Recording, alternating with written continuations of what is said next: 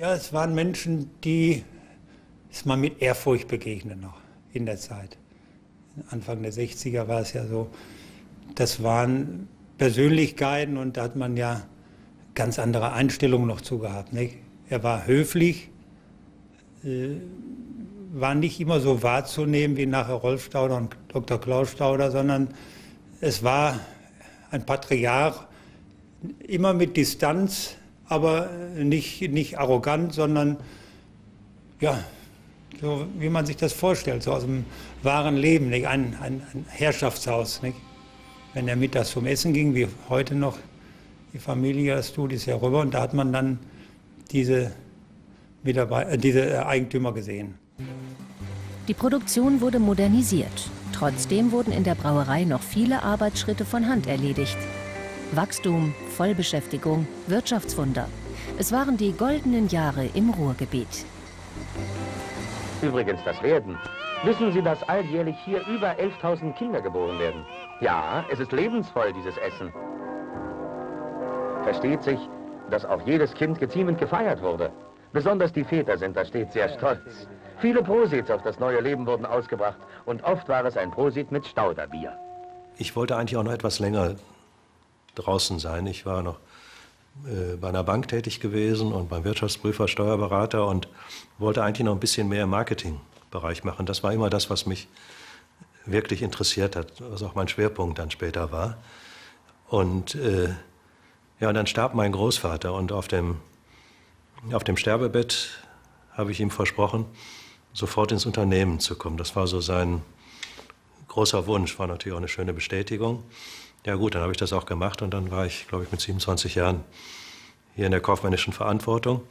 Aber mein Vater war ja noch viele, viele Jahre dabei. Klaus Stauder war als Jurist für Marketing und Verkauf zuständig, sein Bruder Rolf als Braumeister für die Produktion. Die beiden Brüder, muss ich sagen, waren ja so grundverschieden. Dr. Klaus war äh, noch nicht so nahbar, wie er sich entwickelt. Wie jeder Mensch, der sich in seiner Zeit auch entwickelt. Und Rolf Stauder war geradlinig, der hat noch eine Dichtung am Hof aufgehoben. Und auch wenn wir das Wasser mal zu stark haben laufen lassen, dann hat er mal geschimpft und gesagt, müssen wir zudrehen. Nicht? Der war so mehr ja, der Sparmann in der Brauerei, der hat noch ein bisschen auf diese Dinge geachtet. Haben.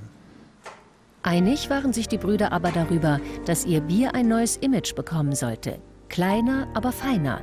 So sollte das Bier aus Altenessen unverwechselbar und überlebensfähig werden. Weniger Masse, höhere Qualität. Der Slogan dazu lautete, die kleine Persönlichkeit. Diese kleine Persönlichkeit, wir haben ein bisschen geholt in den Kellern, immer nicht mit, mit dem Dr. Stauder zusammen, nicht mit mir alleine, sondern die Persönlichkeit war zu der Zeit, Rolf Stauder war ja ein großer Mensch und Dr. Klaus Stauder war halt für uns die kleine Persönlichkeit. Nicht? Anfangs war die neue Marketingstrategie durchaus riskant. Was ich immer gerne erzähle, wie wertvoll es war, dass mein Vater mir freie Bahn gelassen hat und mich hat machen lassen, obwohl da manche Dinge wirklich wahrscheinlich dabei waren, die ganze Umbau der Marke und Neustrukturierung der Marke, was für ihn auch un, vielleicht nicht unerwartet, aber ungewohnt waren. Und wir haben uns später dann in der Woche ein, zwei Mal mit meinem Bruder getroffen, haben wichtige Dinge besprochen, auch mit leitenden Mitarbeitern. Also er war drin in den Themen, aber er hat nicht ernsthaft versucht, mich von äh, wichtigen Dingen abzuhalten. Mein Großvater hätte das bestimmt versucht.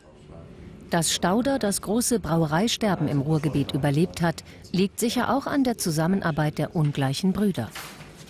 Wir haben uns immer verstanden, auch wenn wir vielleicht mal unter unterschiedlicher Meinung waren, vielleicht ganz selten sogar uns ein bisschen geärgert haben. Äh, aber ich habe nach dem Tod meines Bruders dankbar sagen können, es hat nicht einen einzigen Tag in den mehr als 40 Jahren, in denen wir das Unternehmen geführt haben, gegeben, an dem wir nicht miteinander hätten reden können. Und ich denke, das ist überzeugender kann man eigentlich nicht, nicht darlegen, dass wir uns im Grunde genommen sehr gut verstanden haben. Der Zusammenhalt in der Familie war besonders in den harten Jahren der Brauereikrise wichtig. Auch heute trifft man sich regelmäßig im kleineren und größeren Kreise, so wie hier auf Schloss Hugenpoth. Den Inhaber kennt die Familie schon seit Jahrzehnten. Und die Getränkewahl ist kaum überraschend. Also zunächst einmal muss es gewisse Gemeinsamkeiten über die Generationen geben. Also ich glaube, ohne ein gewisses Grundverständnis über die Generationen hinweg, das sich auch vererbt, geht das gar nicht. Und eine gewisse Grundharmonie der Familie muss, muss auch dazu kommen. Ansonsten sind das natürlich immer Individuen. Jeder hat seine Stärken und jeder hat seine Schwächen. Die Stauder Werbespots spiegeln die Lust an immer neuen Verkaufsideen.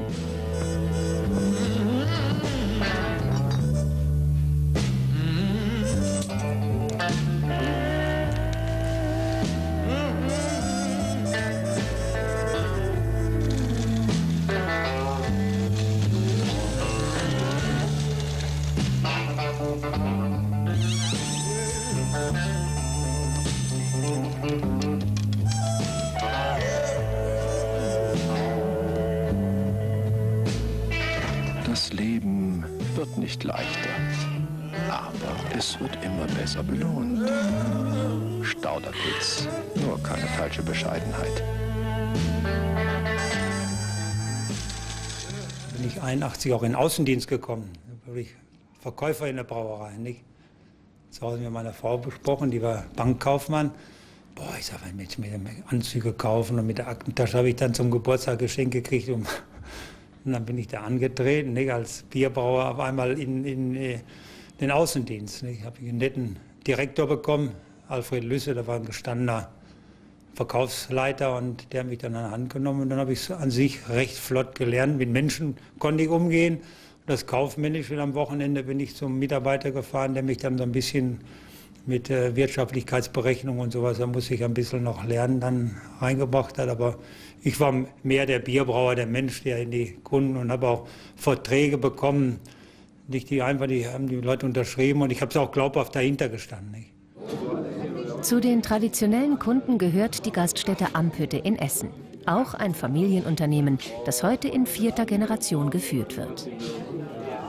Gaststätte Amphütte und äh, die Stauderbrauerei waren eigentlich immer in einem guten Verhältnis zueinander und über all die Jahrzehnte, mein Opa, mein Uropa, mein Vater, die hatten immer Stauderpilz. Also habe ich mir natürlich gedacht, als ich den Laden übernommen habe, warum sollte ich da jemals was dran ändern? Patrick Amphütte ist hier groß geworden. Schon früh hat er erlebt, wie wichtig auch in einer Gaststätte Tradition ist. Für viele seiner Gäste ist es entscheidend, dass das Bier, das sie trinken, einen vertrauten Namen hat. Ich sag mal, die Alteingesessene, die interessiert das schon. Also die sind halt auch mit Stauder aufgewachsen und ähm, ja, die wechseln auch ihre Biermarke nicht mehr bis zu ihrem Ableben. Ähm, bei dem jüngeren Publikum sieht das natürlich anders aus. Tendieren mehr so zu Trendgetränken und ähm, aber im Grunde genommen, ja, sie trinken dann auch Stauderpilz, weil irgendwo ist immer noch so ein bisschen Lokalpatriotismus in jedem vorhanden, sei es beim Fußballverein, sei es beim Bier. Die Stauders spielen gern Tennis. Als Klaus Stauder als Kind damit begann, galt Tennis noch als vornehmer reiche Leutesport. Im Gegensatz zur Mutter teilte sein Vater das Hobby nur begrenzt. Auf der einen Seite hat er sich ja gefreut, dass ich Sport gemacht habe. Noch mehr meine Mutter, die auch eine, eine sehr gute Tennisspielerin war. Sie hat auch in der ersten Mannschaft von Ethof Essen gespielt, bis sie geheiratet hat. Und das hat sie in sehr jungen Jahren gemacht. Insofern hat sie sehr früh aufgehört. Aber da gab es natürlich das Verständnis in die Beziehung zum Tennissport. Ja, meine Mutter hat mit mir so lange Tennis gespielt, bis ich sie geschlagen habe als Junge. Nicht, das, da hat sie nochmal angefangen. Nicht? Und da hat sie gesagt, ich spiele so lange mit dir, bis du mich schlägst. Nicht? Und das, irgendwann war das natürlich passiert und dann hat sie den Tennisschläger an die Seite gelegt und ja, hat sich auch dann auch gefreut, wenn ich äh, ganz gut gespielt habe. Später als Unternehmer blieb Klaus Stauder dem Tennis ehrenamtlich verbunden. 1985 wurde er Präsident des Deutschen Tennisbundes. Ein besseres Timing hätte man sich kaum vorstellen können. Boris hat 1985 mit seinem ersten Wimbledon-Sieg die Lawine losgetreten. Ich weiß noch genau, als ich damals zu meiner Frau gesagt habe, Boris weiß bestimmt noch nicht, wie sich sein Leben verändert. Nur ich weiß, dass er meins wahrscheinlich entscheidend verändert hat. genauso ist es gekommen. Von dem Tag an setzte eine Entwicklung ein im deutschen Tennis, die, glaube ich, nie jemals jemand vorausgesehen hätte. Und mittendrin Klaus Stauder, der Mann, der so heißt wie sein Bier. Ein unbezahlbarer Glücksfall für das Schicksal der Marke. In dieser Phase, als das deutsche Tennis die zwei besten Spieler der Welt hervorbringt, ändert sich auch das Marketingkonzept im Sport. Die VIP Lounge entsteht. Die Reichen und Prominenten sind gern unter sich. Wenn auch noch auf Plastikstühlen. Als Präsident des Tennisbundes trifft Klaus Stauder Persönlichkeiten aus Showbusiness, Sport und Politik. Und dann lässt er auch sein Pilz zum Gipfelsturm antreten. Der richtige Mann dafür ist Peter Adomat. Und dann hat man mich ausgeguckt nicht? und dann ging es am anderen Morgen, sonntags morgens los mit so einem Lamborghini, der Pressefotograf aus Frankfurt, hat mich dann abgeholt. Dann haben wir uns morgens im Käfer getroffen mit den ganzen Spitzenkirchen. Erstmal Champagnerfrühstück gemacht. Und ich saß da so als kleines Würstchen. Aber ich war, war selbstbewusst, aber war schon war toll. Dann haben wir, und dann sind wir zur, nach Kreinau zu der Zugspitzbahn gefahren und haben dann, ich musste die ganzen Zapfanlage und alles mitnehmen, mit meinen glatten Schüchen dann über den Gletscher und Standpunkt zu suchen. Dann sind wir da hoch, ich habe das aufgebaut. Terrasse da oben war noch die alte Plattform freigemacht und nachher, nachher gibt es Freibier. Und abends sind wir dann auf, nach der gelungenen Aktion, Wetter war prima, sind wir dann ins Oktoberfestzelt gefahren. In der VIP-Loggenstadt durfte ich mit. Und dann habe ich, glaube ich, einen so ein Maß getrunken, vielleicht auch zwei, aber da war ich so alle. Damals kam Klaus Stauder häufig in die eleganten Hotels in Deutschland. D'amore, wunderschönen Tag, Dr. Stauder ist hier. Danke. In vielen guten Häusern konnte er sein Bier heimisch machen. Über viele Jahre Außendienst sind dabei vertraute Beziehungen entstanden. Ich, ich führe mit ihm sehr viele Gespräche. Ich, ich ertappe mich immer wieder, dass wenn ich mit ihm spreche, auch sehr persönlich werde, auch sehr offen zu ihm bin das zeigt, dass er Vertrauen auch ausstrahlt. Und ich glaube, das ist heute nicht oft zu finden, dass man Menschen, mit denen man nicht sich als Freund bezeichnet, denn ich glaube, mit dem Wort sollte man sehr vorsichtig umgehen, sich anvertraut. Und das ist mir oft passiert, gerade heute wieder passiert. Und das zeigt mir, dass er ein Mensch ist, den man braucht. Heute liegt das aktive Geschäft der Stauder Brauerei in den Händen der jüngeren Generation. Es wirkt selbstverständlich, dass die sechste Generation auf die fünfte gefolgt ist. Aber diesem Schritt gingen doch lange Überlegungen voraus. Ich stand dann ja, so 2003, 2004 mit meinem Vetter zusammen vor der Entscheidung, was machen wir jetzt. Unsere Väter waren an der Altersgrenze, wo die Entscheidung auch anstand.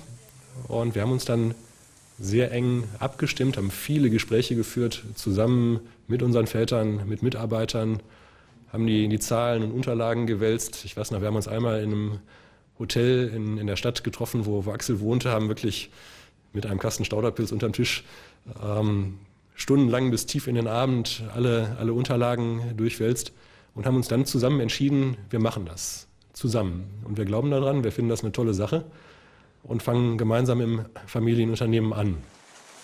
Also, Unsere Väter näherten sich dem 65. Lebensjahr. Da war das planmäßige Ausscheiden äh, angedacht. Und im Vorfeld haben wir uns dann sehr intensiv äh, mit der Frage beschäftigt, in das Unternehmen einzusteigen, haben viele Zahlen gewälzt, haben uns mit dem Markt beschäftigt, haben die ganzen leitenden Mitarbeiter des Hauses intensiv äh, kennengelernt und haben in einem ja, ungefähr einjährigen Prozess äh, uns sehr, sehr intensiv mit dem Unternehmen auseinandergesetzt, um dann bewusst äh, sich dafür entscheiden zu können. Vom Herzen her hätten wir uns sofort dafür entschieden, aber wir wollten es eben auch bewusst aus Vernunft heraus tun. Bin nicht gefragt worden. Meinen Sohn habe ich vor allen Dingen deshalb gefragt, weil er eine hochdotierte und sehr, sehr gute Position im anderen Unternehmen hatte. Mit 34 Jahren äh, das Controlling eines Großunternehmens weltweit leitete. Und äh, das, da muss man diese Frage stellen. Und wenn man sie dann so schön beantwortet bekommt, dann freut man sich.